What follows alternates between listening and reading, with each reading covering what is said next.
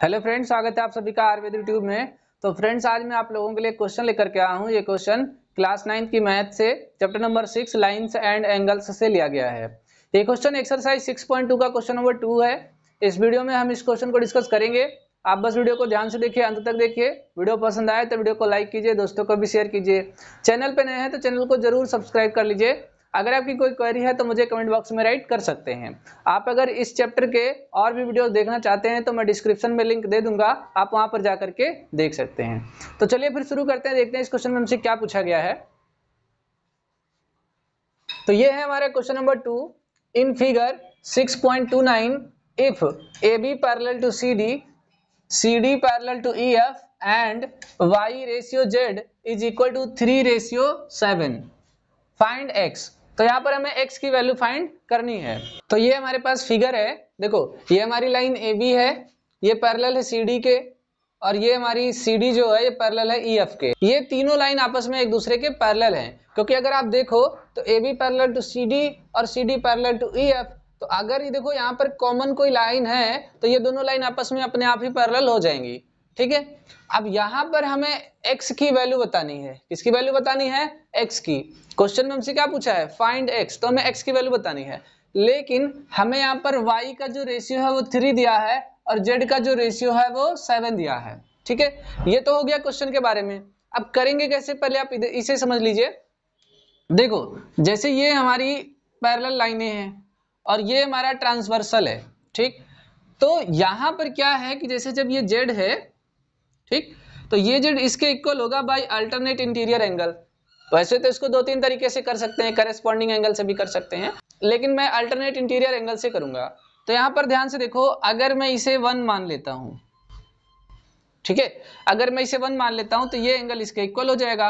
अगर ये seven ratio का है तो ये भी कितना रेशियो हो जाएगा? सेवन ठीक है? तो सबसे पहले हमें कुछ ना कुछ रेशियो को मानना पड़ेगा। Solution let y is equal to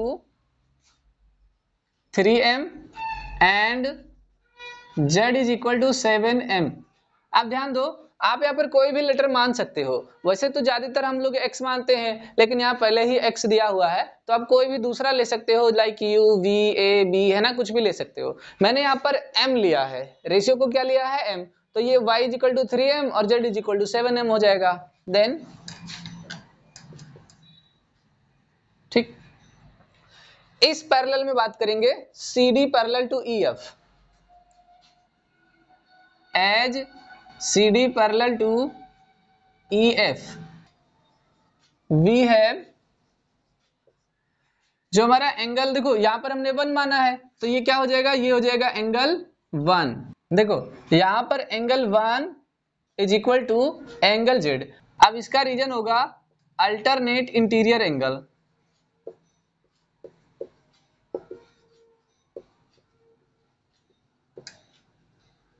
ठीक है? रीजन क्या होगा? अल्टरनेट इंटीरियर एंगल अब आप एक बात समझो, अगर आपने angle one is equal to Z मान रखा है और जेड की वैल्यू कितनी है? सेवन एम तो आप यहाँ लिख सकते हो angle one is equal to seven M इसे आप इक्वेशन वन मान सकते हो। ठीक है? अब इतना हो गया। अब हम यहाँ पर, इस पॉइंट पर, ये देखो, एक सीधी लाइन है और ये एक रे निकल रहा है। तो इस रे पर बने दोनों एंगल जो सीधी लाइन पर बन रहे हैं, उनका सम 180 डिग्री होगा। लीनियर पेयर एंगल तो हम यहाँ पे लिख सकते हैं further angle one plus Y is equal to 180 degree reason linear pair. क्या होगा? Linear pair. ओके। लेकिन आपको पहले से पता है कि angle one is equal to कितना होता है? सेवन एम और y इज़ इक्वल टू कितना है? थ्री एम तो ये हो जाएगा seven M plus three M is equal to one eighty degree और सेवन प्लस थ्री कितना होता है? Ten M ten M is equal to one eighty degree और एम इज़ इक्वल टू कितना हो जाएगा? One eighty by ten. और ten से ये कट जाएगा तो आ जाएगा M is equal to eighteen degree कितना आ जाएगा? M is equal to eighteen degree अच्छा यहाँ से क्या होगा कि ये जो आपने y is equal to three M मान रखा है तो y की वैल्यू कितनी हो जाएगी? y is equal to three into ये देखो, m की वैल्यू है 18 तो यहाँ पे क्या रख दोगे? 18 तो 18 थ्री जा 54 y की वैल्यू कितनी हो जाएगी? 54 डिग्री अब देखो, वैसे तो z फाइंड करने की ज़रूरत है नहीं, क्योंकि क्वेश्चन में हमसे z नहीं बोला है। क्वेश्चन में हमसे x बोला है। लेकिन फिर भी बहुत सारे सॉल्यूशंस में जेड की भी वैल्यू फाइंड है। तो z हम कैलकुलेट कर लेते हैं। ओके तो ये z होता है सेवन इंटू एम लेकिन m की वैल्यू कितनी है? M की वैल्यू है 18 तो यहाँ पर हो जाएगा 18 18 का टेबल सेवन टाइम्स पढ़ोगे तो ये हो जाएगा 126 यानी z की वैल्यू कितनी आ गई? 126 देखो वाई की वैल्यू 54 डिग्री जेड की वैल्यू 126 डिग्री अब एक बात समझो आप। मैं ये सब हटा करके यहाँ पर इनकी वैल्यूज़ राइट कर देता हूँ। आपने जेड की वैल्यू फाइंड किया 126 तो ये भी हो जाएगा 126 बाई अल्टरनेट इंटीरियर एंगल और यहाँ पर y की वैल्यू आपने फाइंड किया 54 अब जो हमें वर्क करना है, x के लिए करना है तो नीचे वाली चीज़ों को हटा देता हूँ। इसकी ज़रूरत नहीं रह गई अब हमारे पास। अब देखो, अब क्या होगा? ये ट्रांसवर्सल है, ये दोनों पैरेलल लाइन है, यहाँ पर आपका एक्स है। अब इन दोनों का सम 180 डिग्री होगा, क्योंकि ये दोनों ट्रांसवर्सल के सेम साइड पर हैं। तो एक आइडेंटिटी होता है कि the angle sum of same side of transversal is equal to 180 degree, है ना? तो वही यहाँ पर लगाएँगे सेम साइड ऑफ़ ट्रांसवर्सल इसको हटा देते हैं।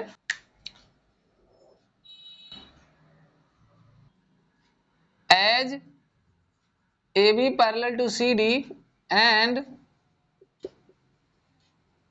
transversal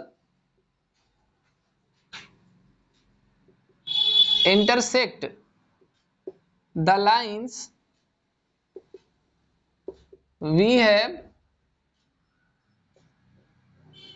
तो देखो, जब ए बी पैरल है सी डी के और ये ट्रांसवर्सल इसको इंटरसेक्ट कर रहा है तो हमें मिलेगा क्या? X plus Y is equal to one eighty degree X plus Y is equal to one eighty degree अब इसका रीजन होगा angle sum on same side of transversal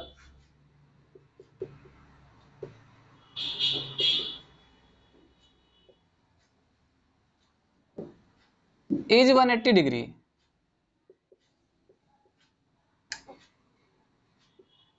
तो ये इसका रीजन हो जाएगा, ठीक है?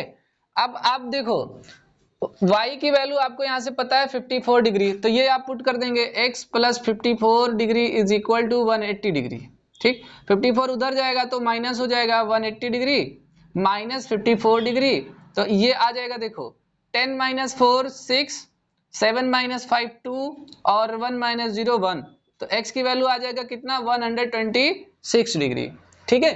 तो ये हमारा आंसर हो गया इस क्वेश्चन का, और यहाँ पर हमने x की वैल्यू को फाइंड कर लिया। तो आप चाहें तो इसे राइट डाउन कर लें या फिर वीडियो को पॉज करके स्क्रीनशॉट ले लें।